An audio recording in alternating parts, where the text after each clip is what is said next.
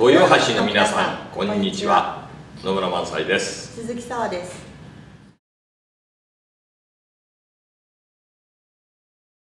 4度目の再演です。今回は龍に鈴木沙和さんをお迎えしてレディー・マクベスを演じていただきます。やはり新メンバー加入ということでですねまた新たな一面を掘り下げそして回数を重ねてきた分のですね熟成もお見せしたいとというわけでまた回を重ねて進化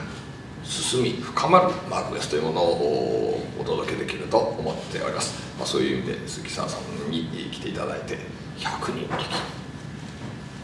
と思っております。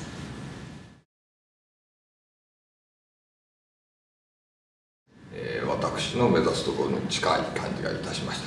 とてもありがたいなと思ってますしなんか期待爆発って感じなんですけどもそういう意味で鈴木沢さんらしくかつ人間らしく。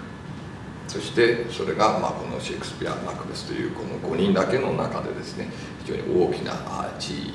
ポジションを占めると思います。まあ本当に夫婦の物語人間として生きるまあつがいの物語と言ってもいいんではかと思いますけども、えー、そういった意味で、えー、また新たな愛を育みたいと。思っておりますし。参りました。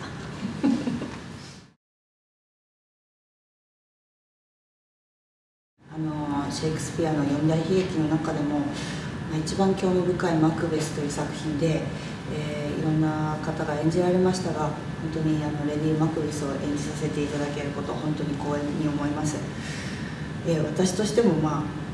うんちょっと新境地なあの開拓になるかと思いますけども自分がどんなふうにこうその役に対してのアプローチができるかとか、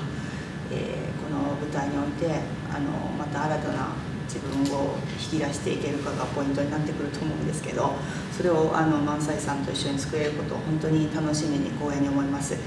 のでぜひあの楽しみにご期待ください。劇場でお待ちしています。